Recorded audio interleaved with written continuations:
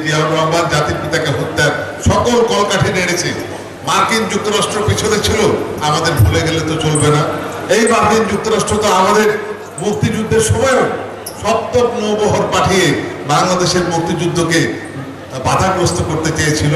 এবং সেই সময় আমাদের বন্ধু রাষ্ট্র ভারত ইন্দিরা গান্ধীর কারণে সেই মহিষী নারী যিনি আমাদের সহযোগিতা করেছিলেন, মুক্তিযোদ্ধাদের এক কোটি মানুষকে ভারতের মাটিতে প্রায় নয় মাস সমস্ত খাওয়ানোর দায়িত্ব ইন্দিরা গান্ধী নিয়েছিলেন। সেই ইন্দিরা গান্ধীর কারণে সোভিয়েত রাশিয়া যদি তার নৌবহর না পাঠাতো, তাহলে কিন্তু মুক্তিযুদ্ধটা শেষ করতে এসেও সপ্তম নৌবহরের কারণে ভিন্ন দিকে প্রবাহিত হতে পারত। বন্ধু রাষ্ট্রদের সেই দিনের কথা ভুলে গেলে চলবে না। সেই মার্কিন যুক্তরাষ্ট্র যারা জাতির পিতাকে হত্যা করবার জন্যে তাদের তৎকালীন রাষ্ট্রদূত ঢাকায় যিনি ছিলেন ভোস্টার, সেই ভোস্টারকে দিয়ে সকল কলকাঠি নাড়িয়ে এই মেজর ডালিম রশিদদেরকে ডেকে নিয়ে তাদেরকে বসিয়ে চক্রান্ত করে গ্রিন সিগন্যাল, অর্থাৎ তোমরা হত্যা করতে পারো, আমরা তোমাদের পিছনে আছি। এই সিগন্যাল দেওয়ার কারণেই হিমালয় সম একটা মানুষ যাকে শুধু বাংলাদেশের নয়, তৃতীয় বিশ্বের মানুষ, মহামানব হিসেবে জানতো, যার পার্সোনালিটি তার ব্যক্তিত্বের সামনে দাঁড়ালে কোনো মানুষ তাকে শ্রদ্ধা না জানিয়ে পারত না। যিনি একটি মানুষকে, একটি কর্মীকে একবার দেখলে দশ বছর পরে তার নাম ধরে ডেকেছেন, তুই অমুক জায়গার অমুক না? এই কথাটা যে বলেছেন, সেই কর্মী তো সারা জীবনের জন্য বঙ্গবন্ধু রয়ে গেছে। আওয়ামী লীগের হয়ে গেছে।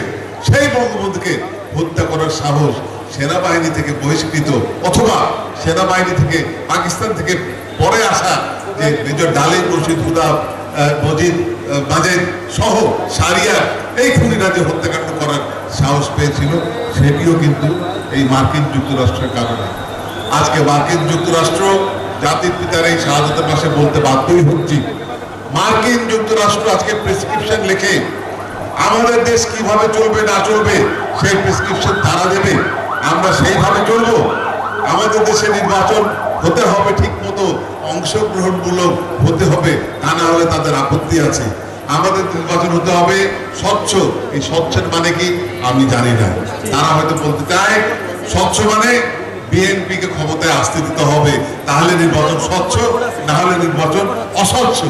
এইরকম প্রেসক্রিপশন যে আমেরিকা দেয়, যে আমেরিকা নিজে তার দেশে মানুষকে বিনা লাইসেন্স বিনা ওয়ারেন্টে হত্যা করে, এফবিআই দিয়ে, পুলিশ দিয়ে, তারা আমাদেরকে র্যাবকে পুলিশকে দায়ী করে বিনা বিচারে হত্যা করার অপরাধে আপনারা কি অপরাধী?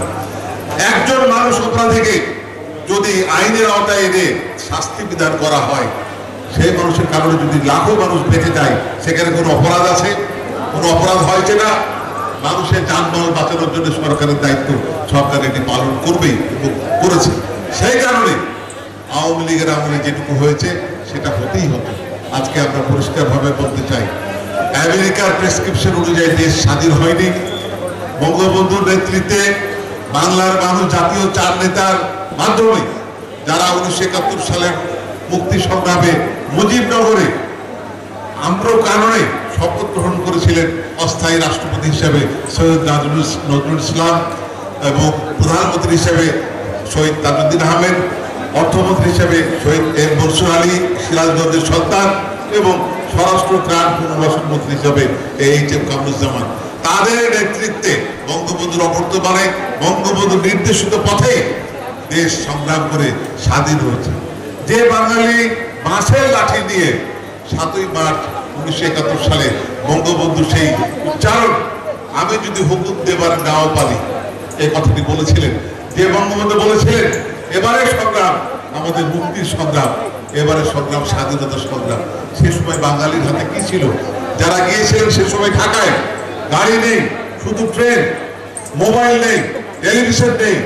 কষ্ট করে যারা গিয়েছিলেন, লক্ষ লক্ষ মানুষ শুধু বাঁশের লাঠি তুলে সমর্থন জানিয়েছিলেন, আমরা আছি, প্রস্তুত। এবং সেই বাঙালি জাতি সেইখান থেকে ফিরে এসে যেভাবে প্রশিক্ষণ গ্রহণ করলেন, অল্প দিনের মধ্যেই, তাতে তারা পাকিস্তানি বাহিনীর বিরুদ্ধে লড়াই করার জন্য প্রস্তুত হয়ে গেলেন। সেই কারণে আমরা সে গর্বিত জাতি, বাঙালি জাতি, যারা দীর্ঘদিন পরে একটি স্বতন্ত্র আবাসভূমি, একটি মানচিত্র, একটি পতাকা নিজের ভাষায় কথা বলার অধিকার অর্জন করেছি বঙ্গবন্ধু শেখ মুজিবুর রহমান কারণে। তাকে এই মাসেই হত্যা করা হয়েছিল। বাংলাদেশকে আবার পেছনে নেবার